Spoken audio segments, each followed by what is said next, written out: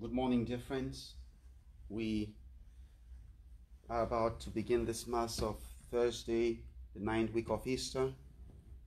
Into this Mass, we continue to pray for each other. We pray that God's blessings, God's love, and God's peace will rest in every heart. We pray for our country in this moment of great anxiety and national distress. We pray and ask that God may help us recognize the pain in every heart and understand the anxiety in every spirit and seek understanding among us to better heal our country. I also would like to pray for our leaders around the world, pray especially for our leaders here in our own country, that God may help us understand the right tone of voice, the right composure, just so that we could seek for greater unity of persons in our country. I invite everyone to pray at this time. We need to have a country where no one is oppressed, where no one feels isolated, where we all work together to build and sustain the greatest nation on earth.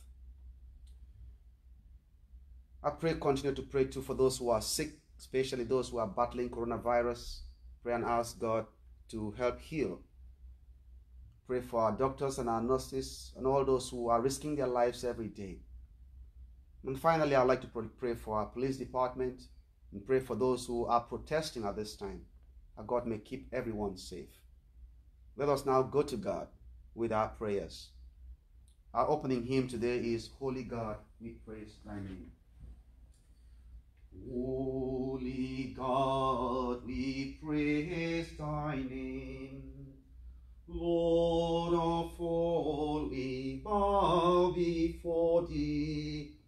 All on earth thy scepter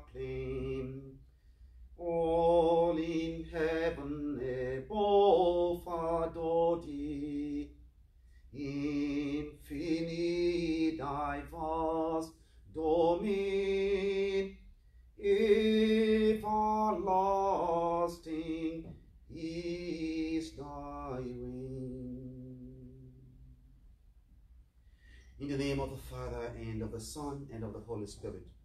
Amen. The grace of our Lord Jesus Christ, the love of God our Father, and the communion of the Holy Spirit be with you all, and with your spirit. My dear friends, we gathered here today to celebrate the sacrament of God's love. And in this Mass, we will pray for the intentions we have, but I'd also like to offer your intentions. So I invite you to bring your concerns and your prayers to God at this time.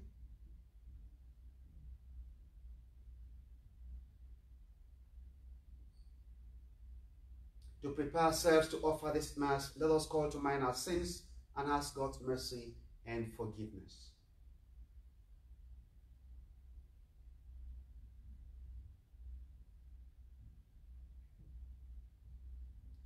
Lord Jesus, for our lack of Christian love, Lord have mercy.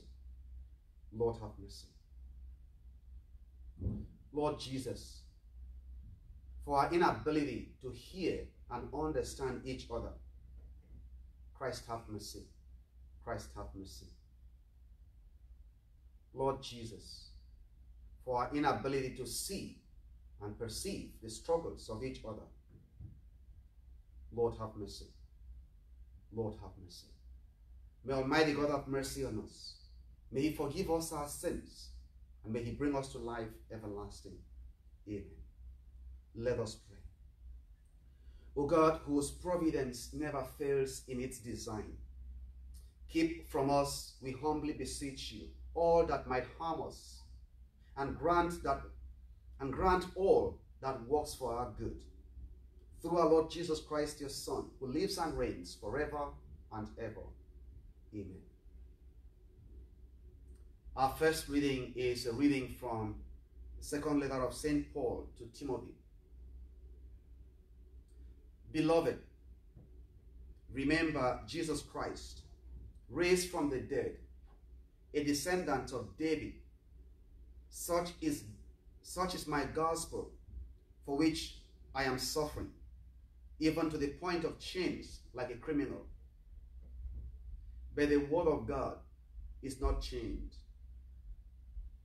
Therefore, I bear with everyone and everything for the sake of those who are chosen, so that they too may obtain the salvation that is in Christ Jesus, together with eternal glory. This saying is trustworthy. If we have died with him, we shall also live with him. If we persevere, we shall also reign with him. But if we deny him, he will deny us. If we are unfaithful, he remains faithful, for he cannot deny his own. Remind people of these things and charge them before God to stop disputing about words. This serves no useful purpose since it harms those who listen. Be eager to present yourself as acceptable to God, a workman who causes no disgrace, imparting the word of truth without deviation. The word of the Lord. Thanks be to God. Our response to the psalmist Teach me your ways, O Lord. Your ways, O Lord, make known to me. Teach me your path. Guide me in your truth and teach me.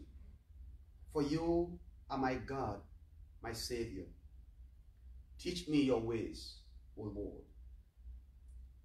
Good and upright is the Lord. Thus he shows sinners the way. He guides the humble to justice. He teaches the humble his ways.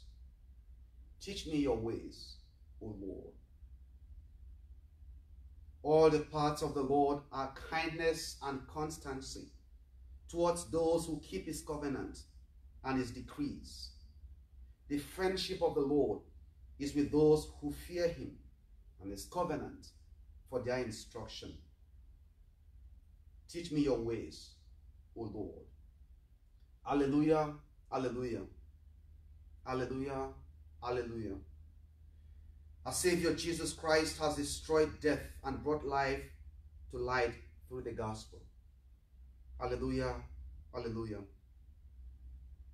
My sisters and brothers, the Lord be with you, with your spirit. Reading from the Holy Gospel according to Mark. Glory to you, Lord. One of the scribes came to Jesus and asked him, Which is the first of all the commandments? Jesus replied, The first is this Hear, O Israel, the Lord our God is Lord alone. You shall love the Lord your God with all your heart, with all your soul, with all your mind, and with all your strength. The second is this you shall love your neighbor as yourself. There is no other commandment greater than these. The scribe said to him, Well said, teacher, you are right in saying, He is one, and there is no other than He. And to love Him with all your heart, with all your understanding, and with all your strength, and to love your neighbor as yourself is worth more than all burnt offerings and sacrifices. And when Jesus saw that he answered with understanding, he said to him, You are not far from the kingdom of God. And no one dared to ask him any more questions. The gospel of the Lord. Praise to you, Lord Jesus Christ. My dear friends, this is a very critical juncture in our national life. And we all need to take a step backwards, provide enough distance to see what is unfolding right now. If we don't, we might miss what I consider a, a new revelation because something is showing itself to every one of us. But as always, the closer you get to something, the less you are able to see it for what it is. You need to take some distance.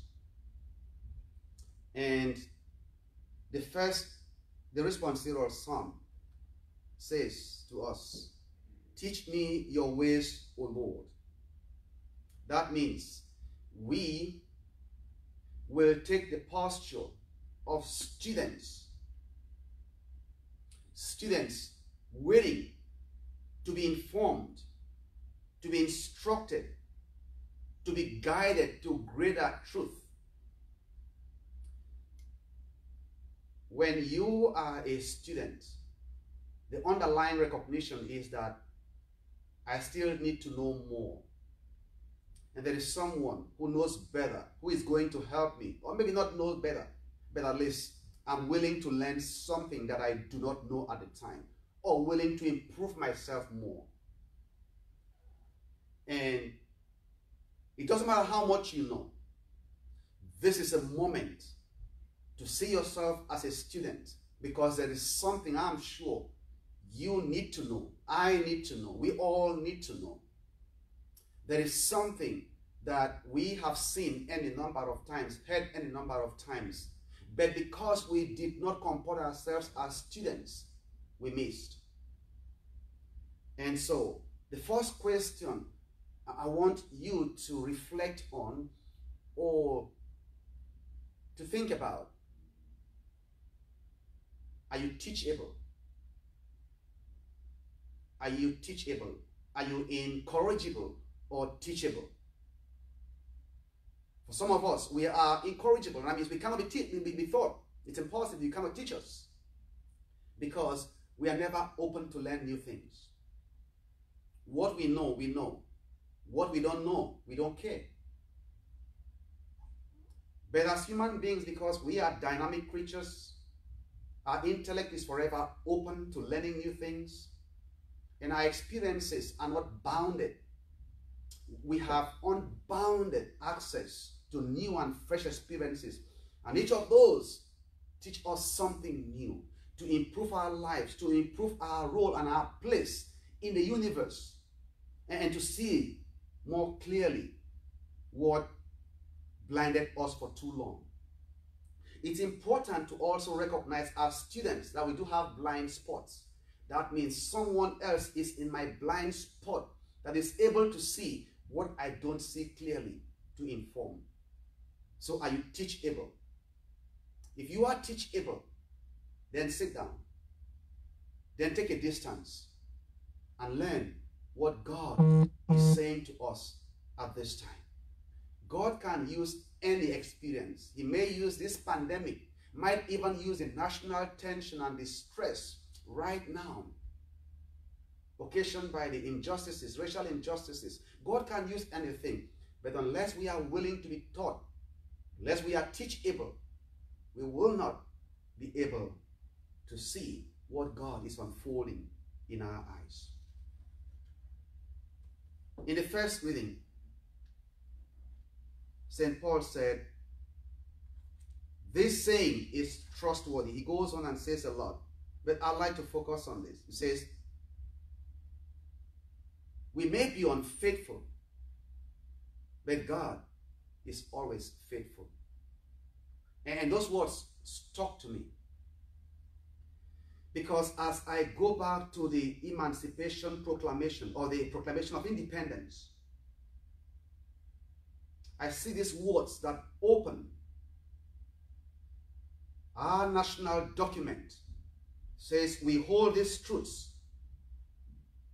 to be self-evident that all men are created equal, that they are endowed by their creator with certain unalienable rights, and among them are the rights to life,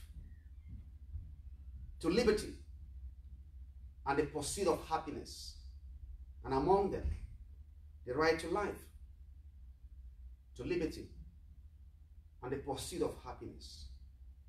Now, that is the underlying statement that defines every citizen in this country that you and all of God's children around the world, that you are created by God and that you were endowed with certain unalienable rights.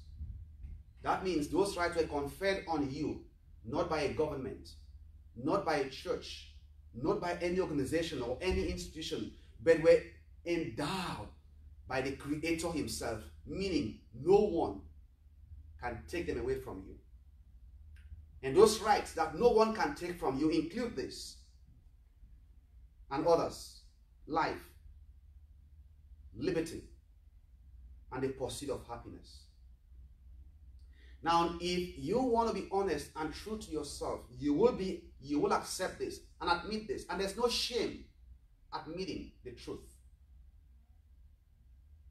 That as a country, we have not been faithful to this underlying document. We have not been faithful to this document. We have not acted and behaved as though we believe what we profess as a nation that all men, all of God's children are created equal. That they do possess some unalienable rights. The right to life. We have not been faithful to this truth that we profess. And so it's important for us to admit that we have denied these rights to a subset of our citizenry our inability to recognize that will be our greatest shame and our greatest tragedy as a people. Because then we are unfaithful to our own founding document. And so as I read this text, it speaks a new language to me. It says, we may be unfaithful. So recognizing our infidelity to our own founding document that lays the foundation for us as a nation is important. So whether you are religious or not, that doesn't matter here. Whether you are a believer or not, whether you profess any faith or not, that doesn't matter. But if you believe that you are a citizen of this country, then it does matter. We must recognize that we have been unfaithful. And this is not a time to blame leaders. Because by my definition of leadership, everyone is a leader. You are responsible for your actions. If you choose to be silent, you're responsible for your silence. It must, it's important to recognize what your silence does. Does it contribute to the good, ultimate good of the nation that we're proud of? Or does it undermine the very values of the nation we love and profess as ours? I say from the gospel reading. The Lord Jesus raises, especially for us who have faith, He raises the bar for discipleship There is something that this Pharisee or this scribe understood that I hope we will understand.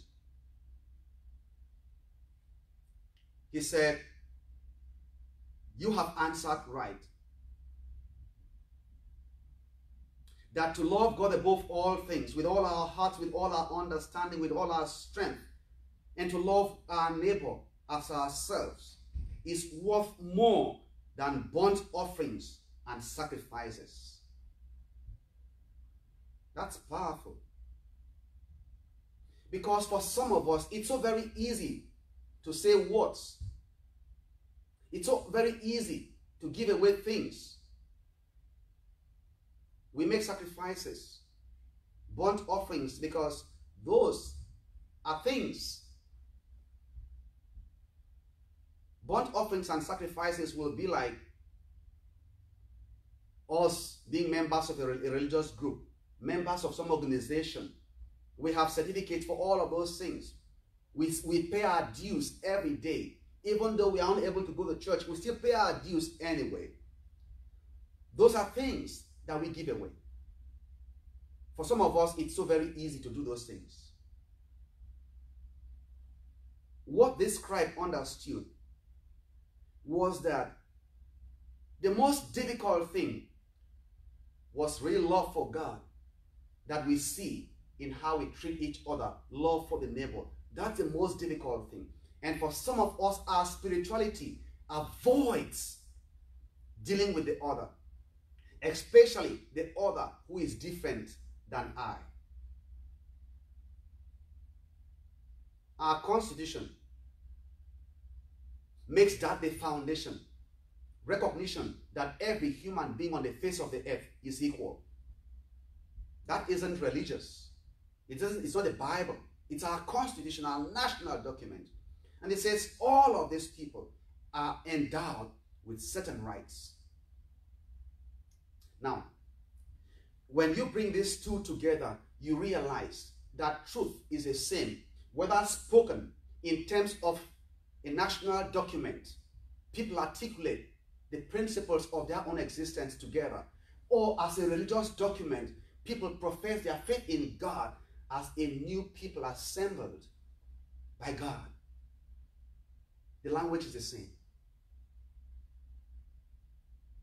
And so, loving the other, as scripture says to us, means being able to hear the pain being able to recognize the struggle and ultimately being with the person who endures all of this.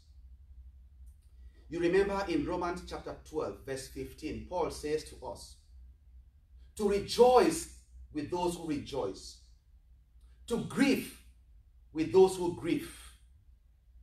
And so, if your neighbor is in grief, if your neighbor is struggling for their own rights and their own freedom, and you choose to stay silent, that has importance and that has consequences. That's me failing in my responsibility. So at this time, I'll invite all men and women of faith, all proud citizens of our great country, to take a step backwards and sit down as students and just behold what is unfolding before our eyes. It is a history of 400 years of inequalities, of slavery, of racism, of segregation, of lynchings, of killings, of economic and social injustices. That's a fact.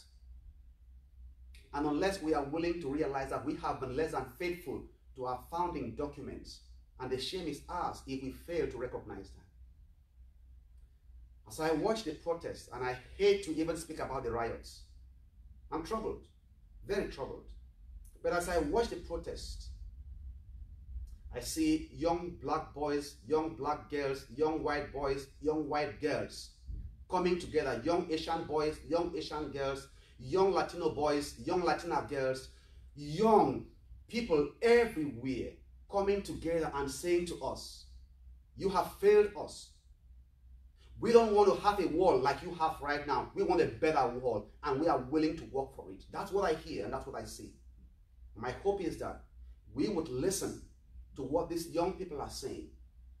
That we have failed them for 400 years, and they don't want to have a world like we have right now. That's what I hear. Especially as religious leaders and people, we must stand up and make sure we speak truth to one another and we listen to truth from one another.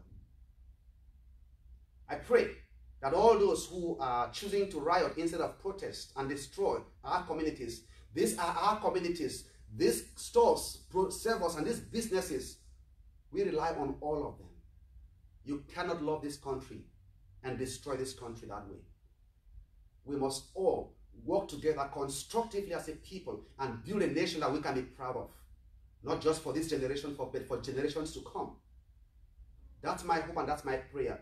If that's the least you can do, please pray. But by all means, do something at this time. Do something at this time. If you forget everything I said, don't forget this that you are still the delight of the Almighty God and that God loves you very much. But answer this question Am I teachable? Can I be taught? The Lord be with you and with your spirit. Let us pray. Most gracious God, we pray for our Pope and all the leaders of our church that they may make present the love of Christ visible in every member of his body. We pray to the Lord. Lord, hear our prayer. That the leaders of the nations will serve not only their people, but all people, all peoples around the world, especially our seniors, our poor, our unemployed, our prisoners, and those on the fringes of society. We pray to the Lord. Lord, hear our prayer. That our nation, hurting, bleeding, broken by racial injustice, by injustices of all other forms, may listen to the pain crying out to be understood and heard. That everyone who is out there right now protesting may recognize that we hold a responsibility that must not be vanquished to protect our streets, protect our communities, and protect each other because injustice cannot be overcome by more injustice. We pray to the Lord. Lord, hear our prayer. That those who are in any need, especially those who are sick here in our hospital and around the world, that they, may know the loving presence of Christ, who is our healer, our comforter, and our Lord. We pray to the Lord. Lord, hear our prayer. That all human life from, from conception to natural death will remain sacred for all. We pray to the Lord. Lord, hear our prayer. That all who have died, especially Andrea who passed away in New York, and Enrique Yamoka who passed away in Peru, and all those who have died from this virus around this time, that you, O God, may grant them rest and bring comfort to the hearts of their loved ones. We pray to the Lord. Lord, hear our prayer. Almighty God, in the heart of your Son, we receive grace and compassion. In your mercy, hear our prayers and help us. We ask this through Christ our Lord. Lord, hear. Amen. Yes, citizen.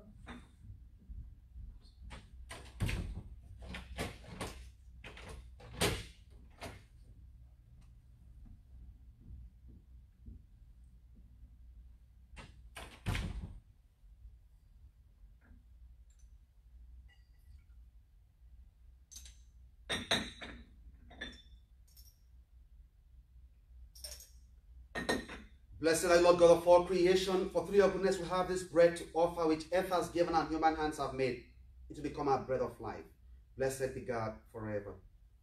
Blessed are you, Lord God of all creation, for through your goodness we have this wine to offer. Fruits of the vine and work of human hands become our spiritual drink. Blessed be God forever.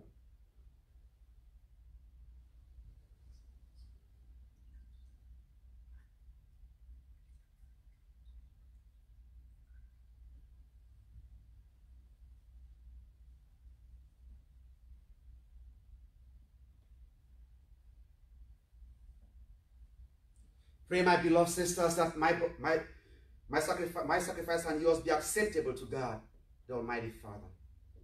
May the Lord accept the sacrifice at my hands for the praise and glory of his name, for our good and the good of his holy church. Amen. Trusting in your compassion, O Lord, we come eagerly with our offerings to your sacred altar, that through the purifying action of your grace, may be cleansed by the very mysteries we serve, through Christ our Lord. Amen. The Lord be with you and with your spirit. Lift up your hearts. We lift them up to the Lord. Let us give thanks to the Lord our God. It is right and just. It is truly right and just, our duty and our salvation. Always and everywhere to give you thanks, Father most holy, through your beloved Son, Jesus Christ. Your word through whom you made all things, whom you sent as our Savior and Redeemer. Incarnate by the Holy Spirit and born of the Virgin Mary, fulfilling your will and gaining for you a holy people. He stretched out his hands as he endured his passion, so as to break the bonds of death and manifest the resurrection. So with the angels and all the saints, we declare your glory as with one voice we acclaim. Holy, holy, holy Lord, God of hosts, heaven and earth are full of your glory. Hosanna in the highest. Blessed is he who comes in the name of the Lord. Hosanna in the highest. You are indeed holy, O Lord, the fount of all holiness. Make holy, therefore, this gift, we pray, by sending down your Spirit upon them like the dew fall, that they may become for us the body and blood of your Son, our Lord Jesus Christ. At the time he was betrayed and entered willingly into his passion, the Lord Jesus took bread, giving thanks, he broke it, gave it to his disciples, saying, Take this, all of you, and eat of it, for this is my body, which will be given up for you.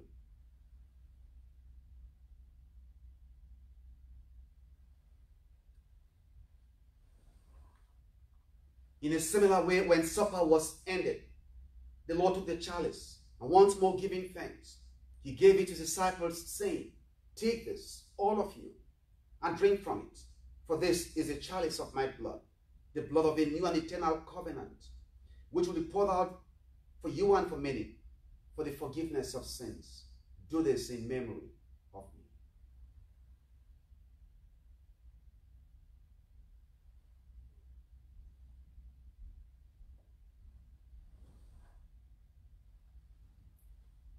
With the first acclamation, let us proclaim the mystery of our faith. We proclaim your death, O Lord, and profess your resurrection until you come again. Therefore, as we celebrate the memorial of his death and resurrection, we offer you, Lord, this bread of life and this chalice of salvation, giving thanks that you have felt us worthy to be in your presence and minister to you. Humbly we pray that partaking of the body and blood of Christ, we may be gathered into one by the Holy Spirit. Remember, Lord, your church spread throughout the world and bring her to the fullness of charity, together with Francis our Pope and Timothy our Bishop and all the clergy. Remember also our brothers and sisters who have fallen asleep in the hope of the resurrection and all who have died in your mercy. Welcome them into the light of your face. Have mercy on us all, we pray, that with the Blessed Virgin Mary, Mother of God, with Blessed Joseph, our spouse, with the blessed apostles and all the saints who have pleased you throughout the ages, we may merit to be co-heirs to eternal life and may praise and glorify you through your Son, Jesus Christ. Through him and with him and in him, O God Almighty Father, in the unity of the Holy Spirit, all glory and honor is yours forever and ever. Amen. Let us now rise and pray in the words our Lord gave us. Our Father, who art in heaven, hallowed be thy name. Thy kingdom come, thy will be done, on earth as it is in heaven. Give us today our daily bread, and forgive us our trespasses, as we forgive those who trespass against us. And lead us not into temptation, but deliver us from evil. Deliver us, Lord, we pray, from every evil. Graciously grant peace in our days, that by the help of your mercy, we may be always free from sin and safe from all distress, as we await the blessed hope and the coming of our Savior, Jesus Christ. For the kingdom, the power, and the glory are yours now and forever. Lord Jesus Christ, who said to your apostles, Peace I leave you, my peace I give you. Look not on our sins, but on the faith of your church, and graciously grant her peace and unity in accordance with your will, who live and reign forever and ever. Amen. The peace of the Lord Jesus be with you always, and with your spirit. Dear friends, Let us now offer each other the sign of that peace. From me to you and to your loved ones, may God's peace rest with you now and always. Amen. Lamb of God, you take away the sins of the world. Have mercy on us. Lamb of God, you take away the sins of the world. Have mercy on us. Lamb of God, you take away the sins of the world. Grant us peace.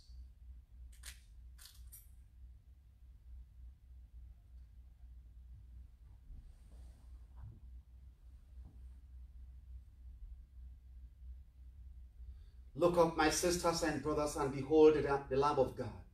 Behold him who takes away the sins of the world. Blessed are those called to the supper of the Lamb. Lord, I am not worthy that you should enter under my roof, but only say the word and my soul shall be healed. At this point where we are still unable to participate fully in the, in, in the Eucharist, let us ask our blessed Lord to come to us and to nourish us spiritually. Most loving and gracious God, we call upon your holy name and we ask you to please visit with your children around the world who are unable to receive you today. Bring them yourself in this sacrament spiritually. And may your presence in their lives, in their souls, and in their spirits open them up to grace grace that comes from you. We ask this through Christ our Lord. Amen.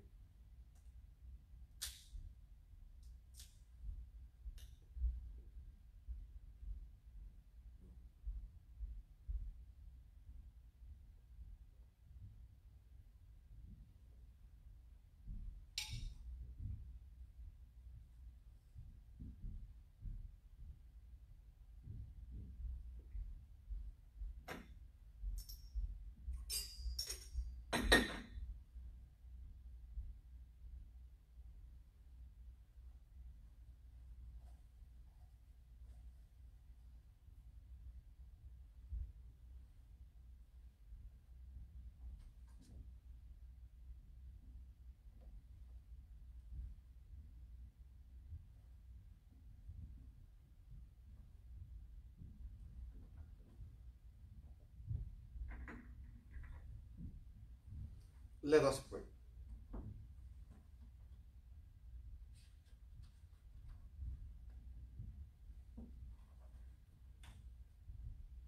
Governed by your Spirit, we pray, O Lord, those you feed with the body and blood of your Son, that professing you not just in word or in speech, but also in works and in deeds, that we may merit to enter the kingdom of heaven. We ask this through Christ our Lord. Amen. Prayer to St. Michael the Archangel. St. Michael the Archangel, defend us in battle. Be our protection against the wickedness and snares of the devil. May God rebuke him, we humbly pray. And do thou, O Prince of the heavenly host, by the power of God, cast into hell Satan and all the evil spirits that prowl throughout the world seeking the ruins of souls. Amen. Before the final blessing, I'd like to take a moment to express my thanks to you for joining us at this Mass. Pray that God may watch over, God may protect you, that God may keep you safe. Please continue to pray for our country. We are at the precipice of something good or something really, really, really bad. I hope that our prayers, our reflections, our, our choice to work together may bring us our best days. May help us prepare a world that is safer, more hospitable, more just, more fair for our children and for our children's children. God bless everyone who in goodwill is walking towards that. The Lord be with you. Through the prayers of our Blessed Mother, may God bless and keep you, the Father, the Son, and the Holy Spirit. Amen. This Mass is ended. We go forth in peace to love and serve the Lord. Thanks be to God. we will sing a song to our Blessed Mother, Queen of the Americas.